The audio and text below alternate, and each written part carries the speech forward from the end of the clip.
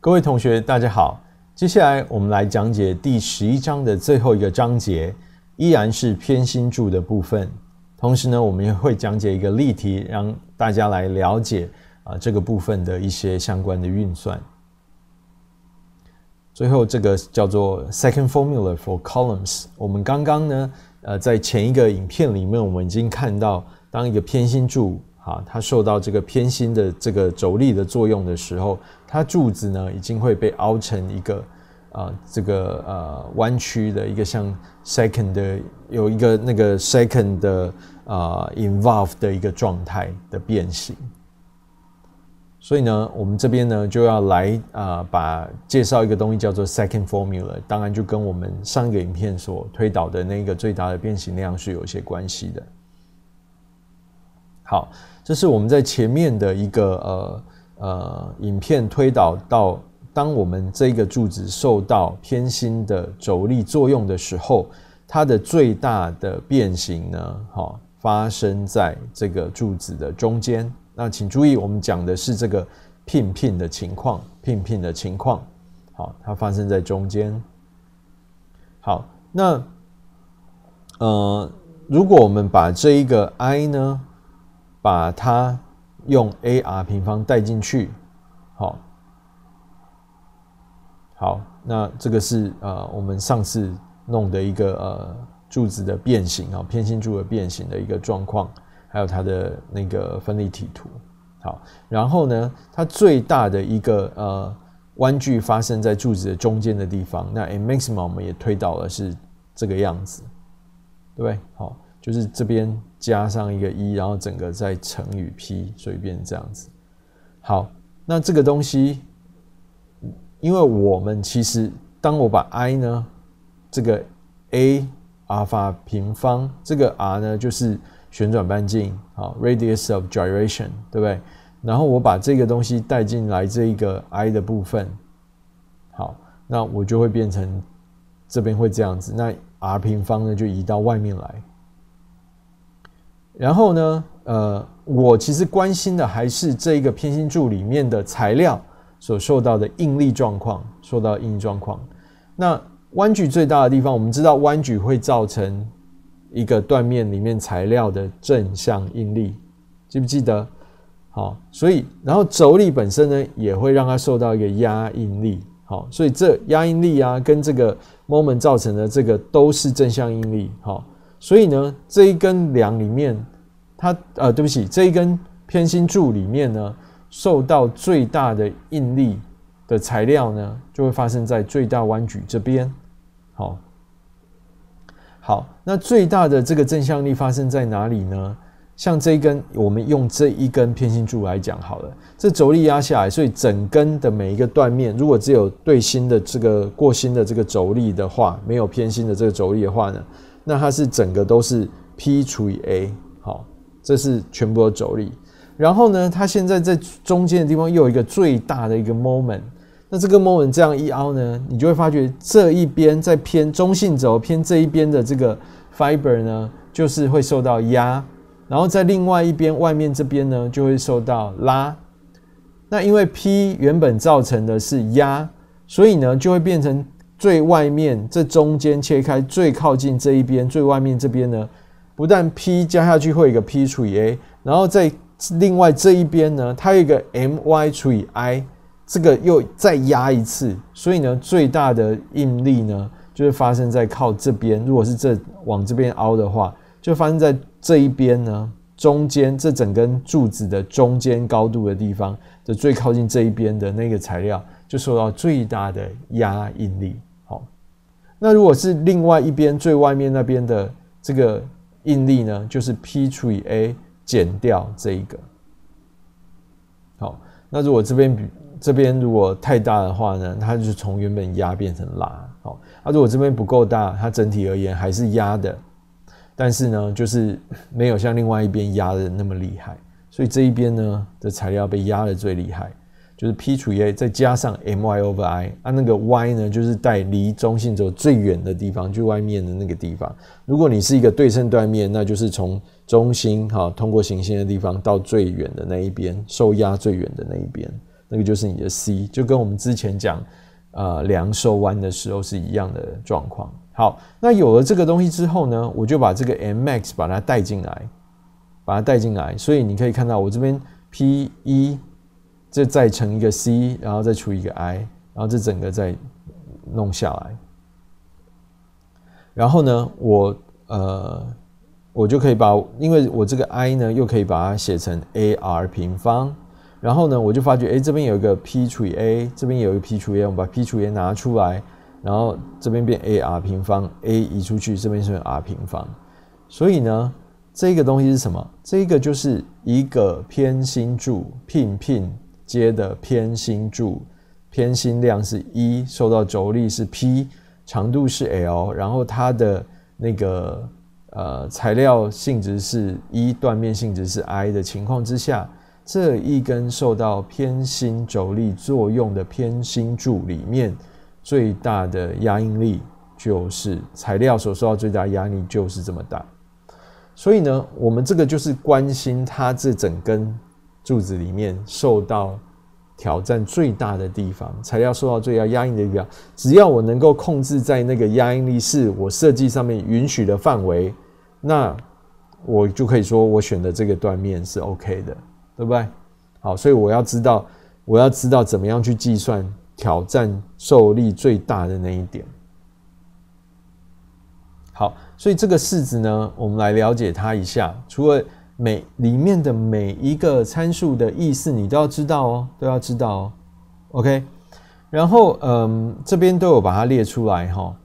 这是偏记住有一个一在这边，它是一个偏心柱的状况。然后这个 C 就是你这个断面里面好，从你的中性轴到你那个受压的那一边最远的这个距离。好，那这一个 E C 除以 R 平方呢？这个东西我们特别把它叫做呃这个 eccentricity ratio，好，一个偏心偏心的一个比。好，那你可以注意到 E 跟 C 呢都是长度单位，对不对？然后 R 本身也是长度单位，所以它这个 E C 除以 R 平方呢就变成一个无因次的，好，所以它是一个偏心的比。然后呢，嗯。如果万一这一根柱子它并不是拼拼的时候，那但各位也可以顺着我们刚刚介绍上个影片跟这个影片的方式来推导一下，那你就会发觉式子长得一模一样，你只是需要把这个 L 呢改成 L 一，所以就很简单。好，如果它的不是一个拼拼的状态的时候，那你只要把这个 L 改成看是哪一种边界条件，然后偏心，对不对？你只要把这个边界条件把这个 L 呢改成 L 一。一个啊，带它有效长度，那你就可以去算这个 sigma max。好，我们呢一样也把它画成图来看看哦。那为什么我们要画成图呢？因为假如这样子好了，我这个 sigma max 嘛，假假设说我今天材料选定了，然后我设计上面要有一些安全系数嘛，好，所以呢，我今给你一个说。我这个偏心柱里面呢，这些材料最大最大的应力不可以超过这么多。那你知道这个偏心柱里面受到的最大应力应该是用这条式子来算啊，所以你就让这条式的结果不要超过它。然后你如果我的呃断面呢已经告诉你了，好偏心距也 E C 啊这些都告诉你了，那我就可以问你说，请问？我可以加的最大的轴力是多大？这个偏心的轴力是多大？最大我可以加，在我给你 E C R A 啊这些状况之下，好，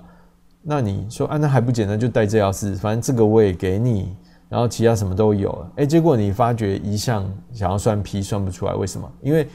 这边有个 P，然后 second 里面也藏了一个 P，所以你还要你要算直接算 P 是多大，就就会蛮麻烦的。好所以呢，呃，就是我们可以用这种图的形式来把它解决。那这个我如果考试的时候给你这个图呢，那我就可以呃让你去算这个 P 最大可以多少。好，我们等一下可以用例子来说明一下。所以呢，这个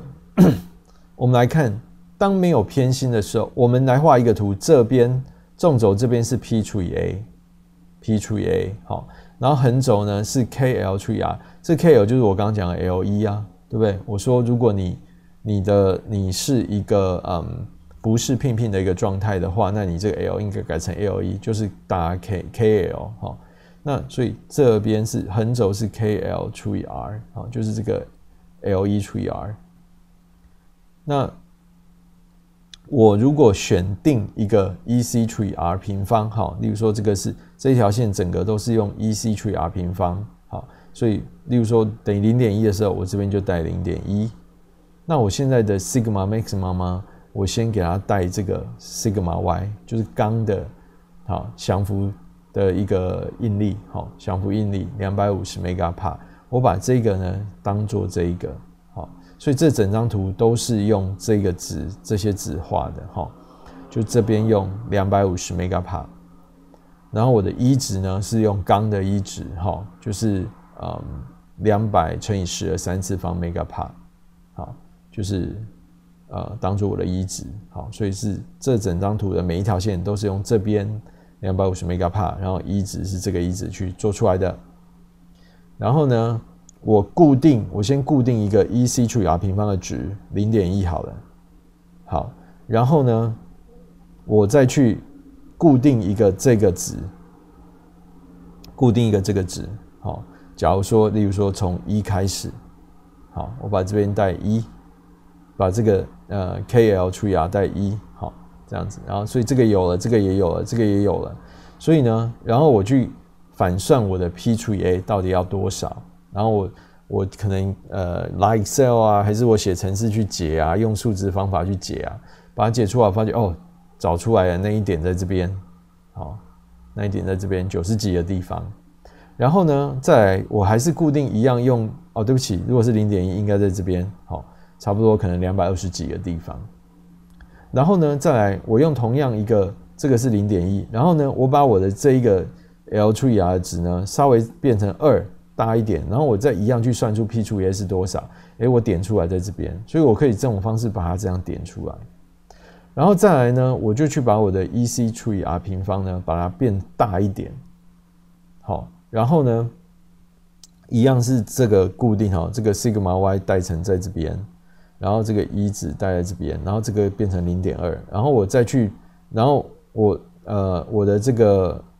呃对不起，这个变成零点五哈，这条线是零点五好，然后呢我再去把我这个 L over R 呢从小到大这样不断的变换，然后每每一个 L over R 的值呢，我都会算出一个相对应的这个 P 除以的值是多少，那我又连成这一条线，所以这一张图就是这样子把它画出来的。所以之后呢，我如果给你一个 E C 除以 R 平方，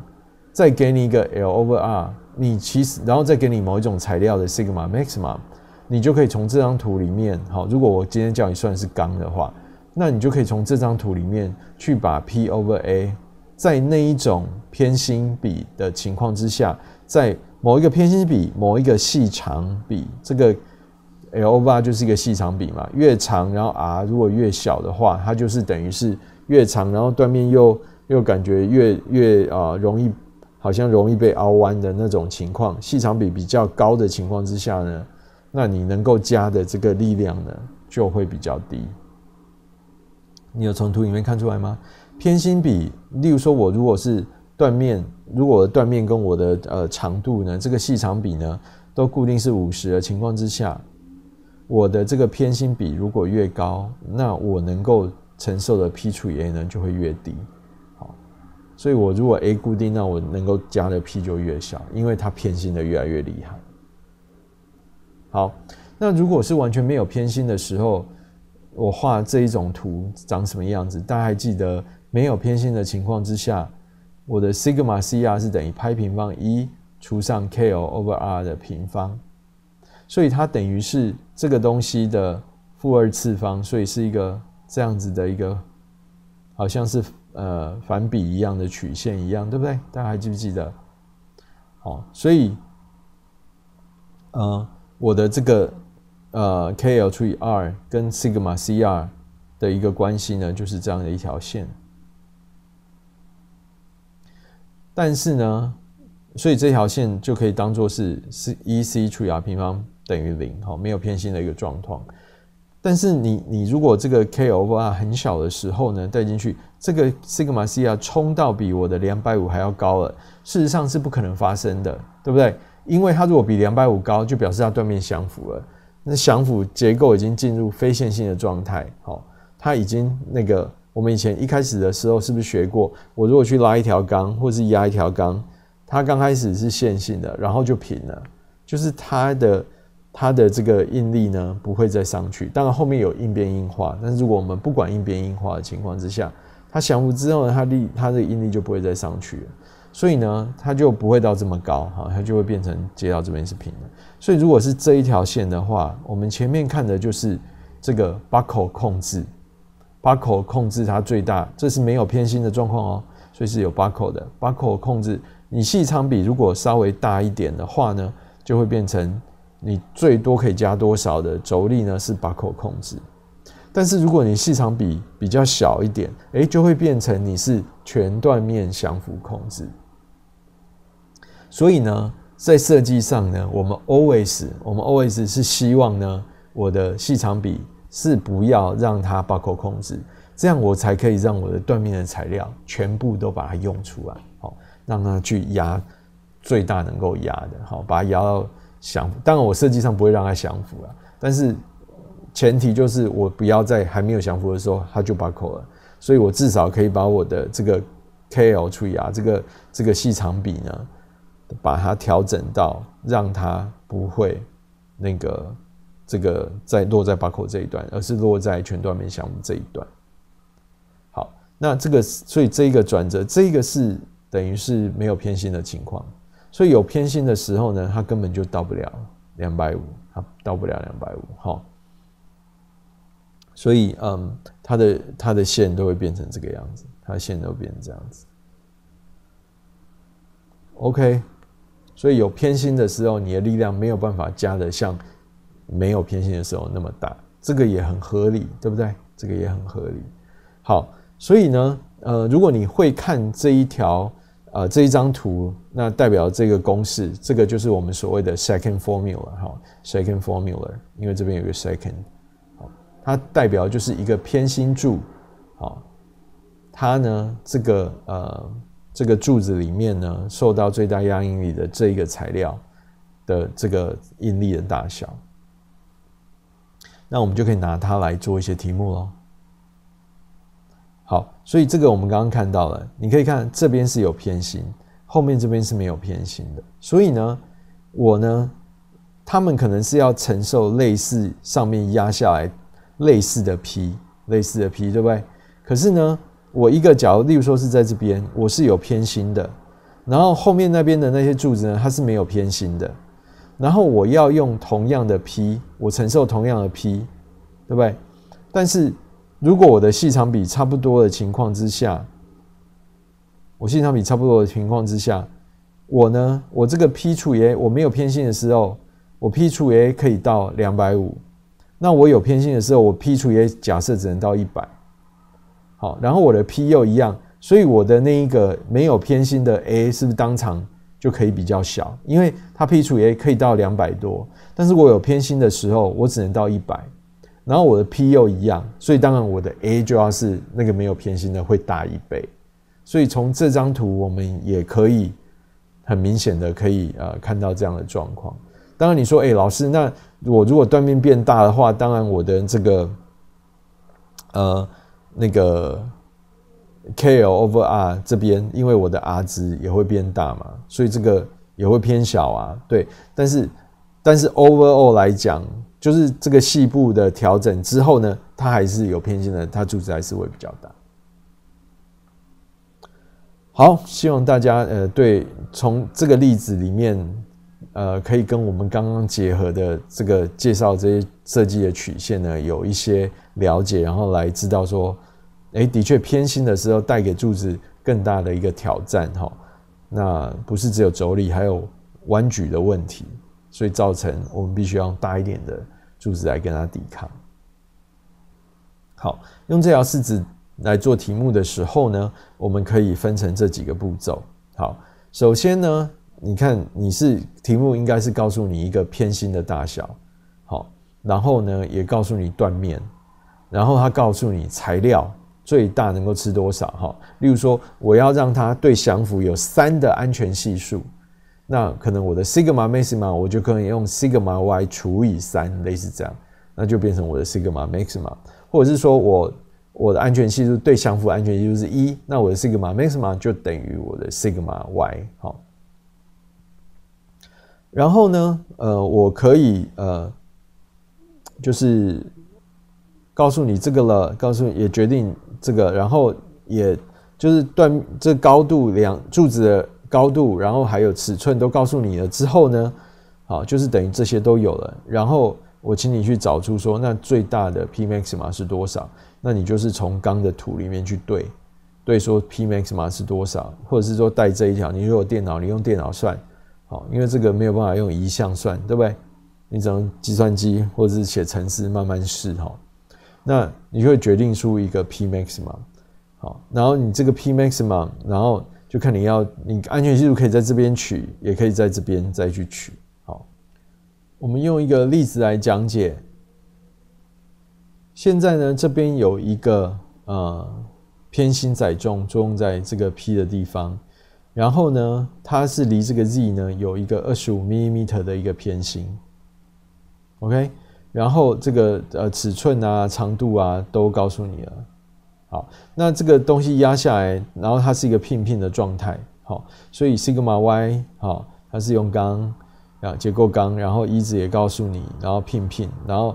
呃，他希望一的安全系数，然后他问你说：“请问这个最大能够承受的这个 P，在这样的二十五的偏心底下是多少？”这个典型的，我们刚刚可以用 second formula，还有那个图呢，来来去找到答案的一个题目哈。好，那各位要看清楚哦，这个东西它是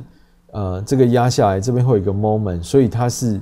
呃，它这个。偏心呢是是在这个方向，所以它呃被凹，它是最大的呃这个 V 呢是发生在这个方向哦，是 Y 方向，所以这个负 Y 在这个呃二点二五这这个高度的地方，还有一个负 Y 的 V max 嘛，OK 好，所以呢我们就是用呃这个 second formula 来算就可以了。首先呢呃我们把这个